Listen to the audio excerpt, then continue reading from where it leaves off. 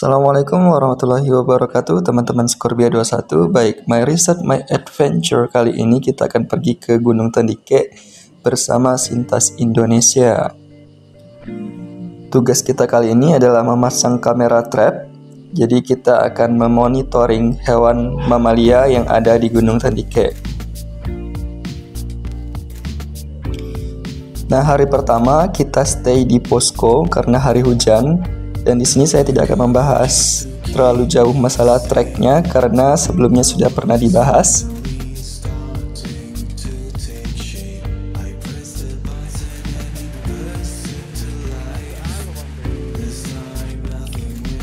Nah untuk hari kedua ini kita pergi bersama guide dari posko Gunung Tandike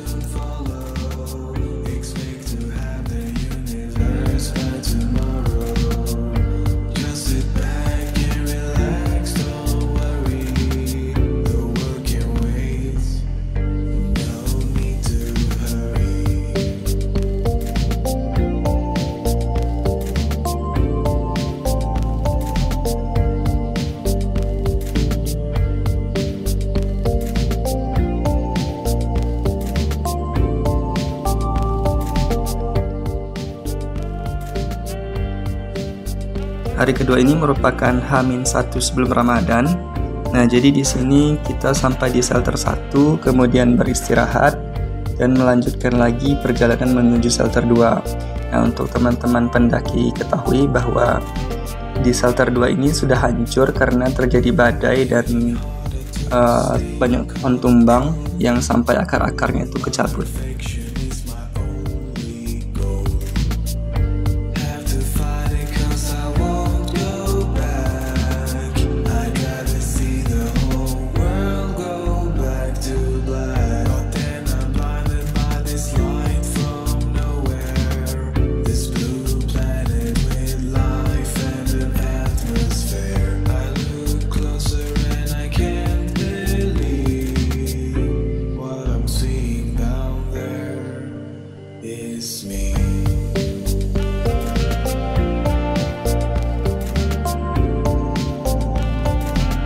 Adalah kondisi dari shelter 2 lama, jadi banyak pohon tumbang dengan uh, dengan akar yang tercabut dan pohonnya itu ukurannya cukup besar sehingga menutupi seluruh area uh, shelter.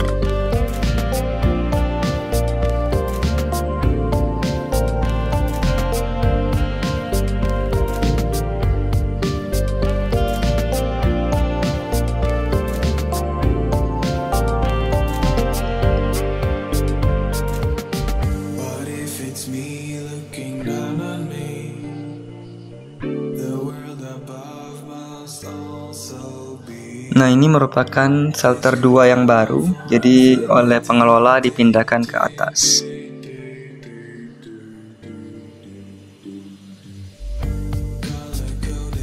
Jadi sebelum menuju shelter 3 itu banyak pohon tumbang juga Jadi harus waspada Apalagi apabila berjalan di hari badai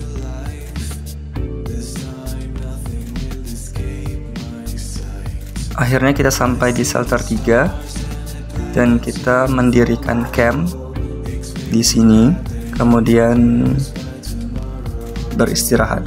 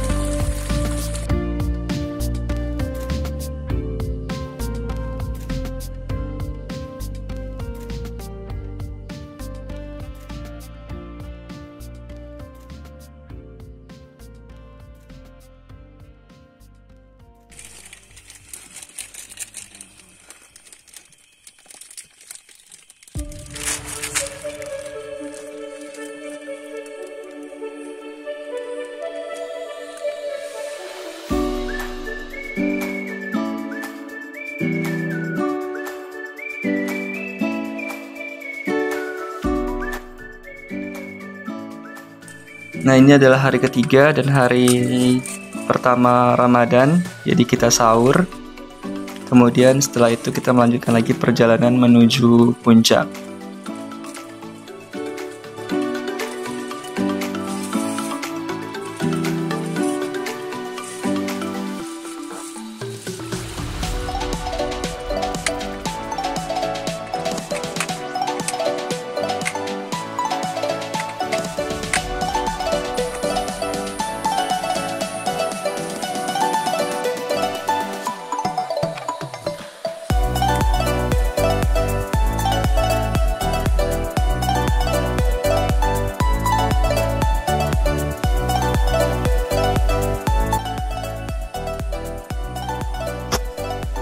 Nah, jadi karena puasa pertama, jadi uh, lelahnya cukup terasa.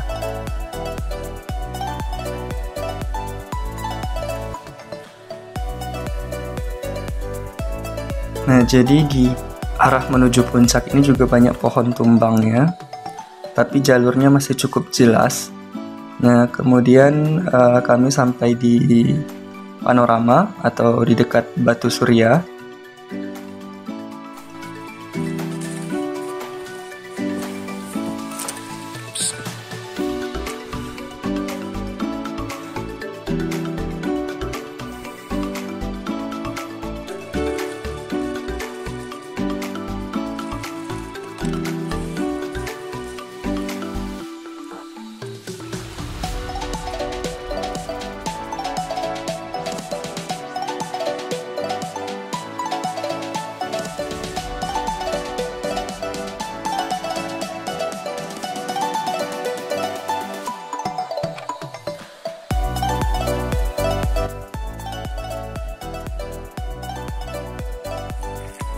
Nah, jalan menuju puncak ini memang becek, jadi uh, harus hati-hati karena ada juga bagian lumpur yang cukup dalam. Nah, kemudian kita sampai di puncak.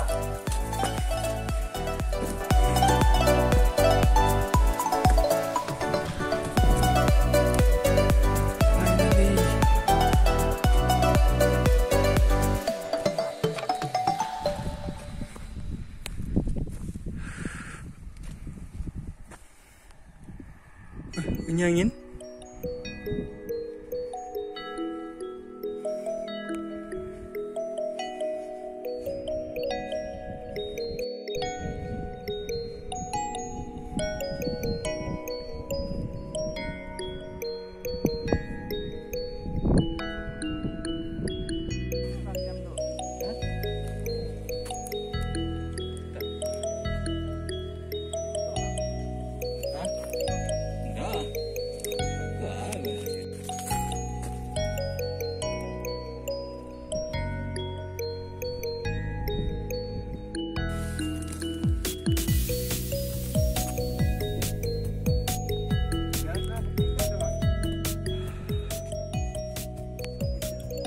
kemudian kita mendirikan tenda di sekitaran puncak, tetapi karena hari hujan, jadi uh, seharian itu hanya di dalam tenda.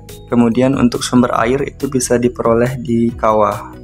Tapi karena hujan, jadi kita cuma menampung air hujan aja untuk minum.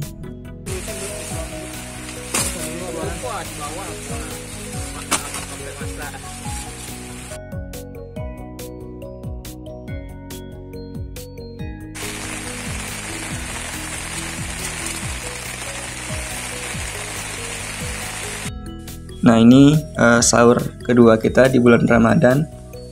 Uh, kemudian menikmati sunrise dan setelahnya kita melanjutkan lagi perjalanan menuju ke punggungan Batu Surya untuk menuju ke Lembah Anai. Tapi di sini kita tidak melalui jalur pendakian yang ada di Lembah Anai. Jadi ini adalah jalur lama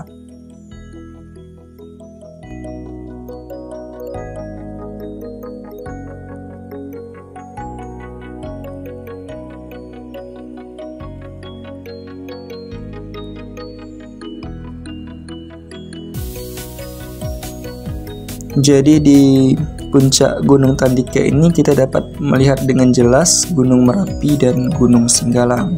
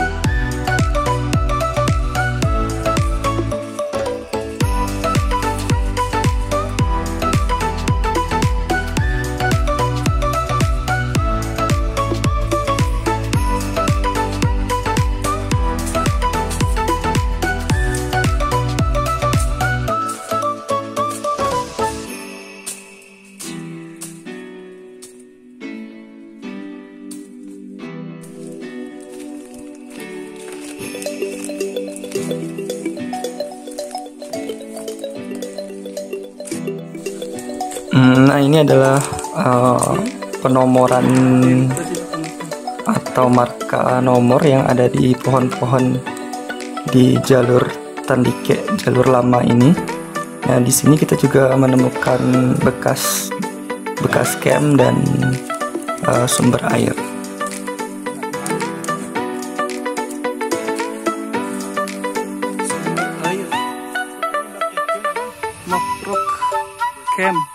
Ya itu ada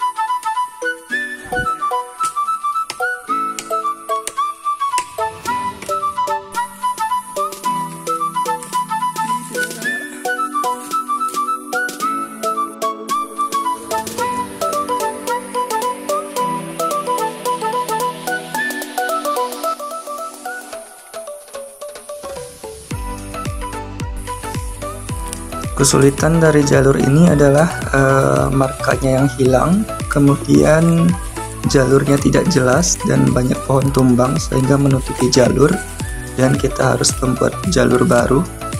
Tapi karena kita sudah memiliki track dari GPS jadi tinggal mengikuti jalan yang hilang itu saja. Dan di hari keempat ini memang yang lebih sulit dibandingkan hari-hari sebelumnya karena uh, panjang dan banyak jalur yang hilang.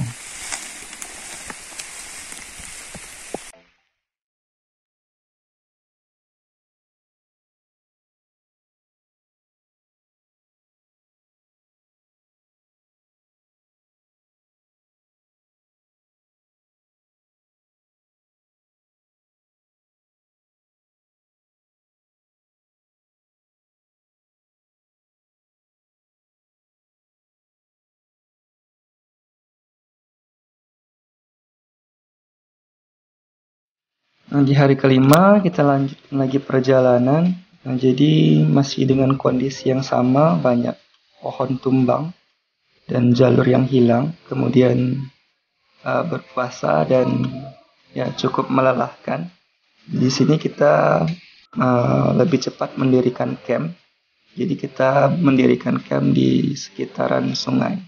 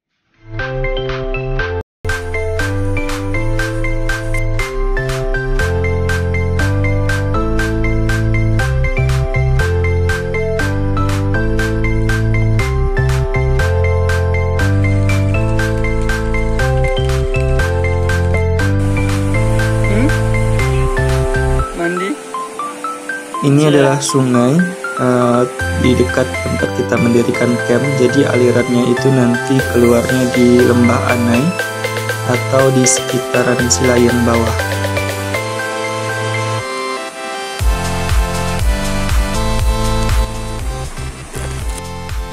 Hmm, nah ini adalah sahur hari keempat kita di bulan Ramadan. Jadi uh, setelah itu kita melanjutkan perjalanan dan menuju ke Lembah Anai. Nah, jadi keluarnya itu kita di sekitaran jembatan setelah air terjun. Nah, kemudian hmm, turunan dari puncak Lembah Anai ini cukup terjal, ya bisa dikatakan sangat terjal, jadi harus hati-hati.